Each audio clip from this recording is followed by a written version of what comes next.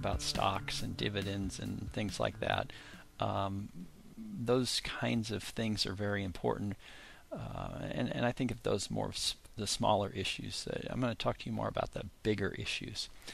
Things like in order to invest, you have to spend less than you make. Uh, you need to start early with investing. With investing, you need to diversify. You need to trade infrequently. And then lastly, you need to avoid debt. So the first one, saving. If if you don't, if you spend everything you make, there's nothing left. There's no reason to even study investing in stocks. A good metric is 10 to 20 percent. So if you make $100, you save $10, $20. If someone gives you $100, you save $10 or $20. You make this a habit, and as you get older, you will have a you'll have wealth to to to provide for you in times of need. And then think about upgrading your portfolio. Lots of times when people get raises, when they get some extra money, they think about upgrading their wardrobe or upgrading um, their uh, their house. Uh, upgrade your portfolio. Put more money in your portfolio. Start early. So compounding is is powerful. Uh, money doubles about every seven to ten years. Money invested in the stock market doubles every seven to ten years.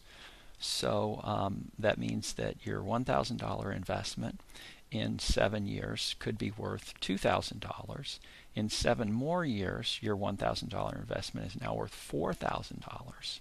In seven more years, which is about 20 years, your $1,000 investment is now worth $8,000. Uh, so it's growing exponentially and it's very powerful and it's one of the reasons why you need to start investing when you're 20 or 25 versus waiting until you're 50 or 60. So again, about every 7 to 10 years, your money will double, will compound. Uh, how many investment doubles can you hit in your lifetime? Start early, you'll hit a lot of doubles. Uh, third, diversify your portfolio. Good things to invest in stocks, bonds, real estate. They all produce income for you. You can you can invest in a stock. You can keep it for 50 years and it will provide dividends and income for you. Same thing with bonds, same thing with real estate.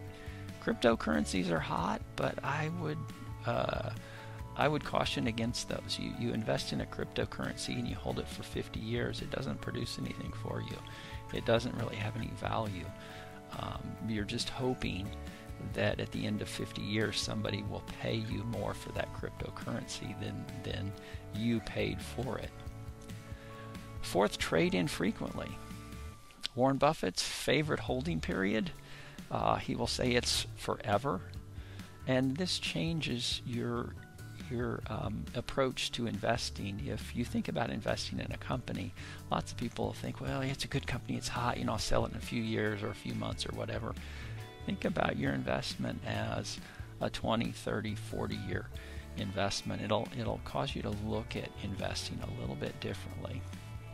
You'll want to see companies that you believe still have products that will be around in 40 or 50 years buy portfolios, not individual stocks. So mutual funds are something that you'd want to look into. Exchange traded funds, these allow you to buy portfolios of, of companies, not just one company. Debt is the anti investment. Um, you can see this picture here, this man being weighed down by debt. Uh, how do you create debt? Well, there's, there's um, oftentimes people create debt because they uh, want to spend more than they make. And what that means is in the future they have to pay back that overspending and they also have to pay interest on that overspending so it starts consuming the interest starts consuming their income. Uh, so this happens when you live beyond your means. Learn how to live below your means and you can create wealth. Uh, know that debt works against you there is some good debt. Investing in a house is a good use of debt. Investing in yourself through education is a good use of debt. Bad debt, the worst debt, is credit cards. You, you want to avoid carrying balances on credit cards. Okay, I wish you success in this program, and I wish you success creating wealth throughout your life.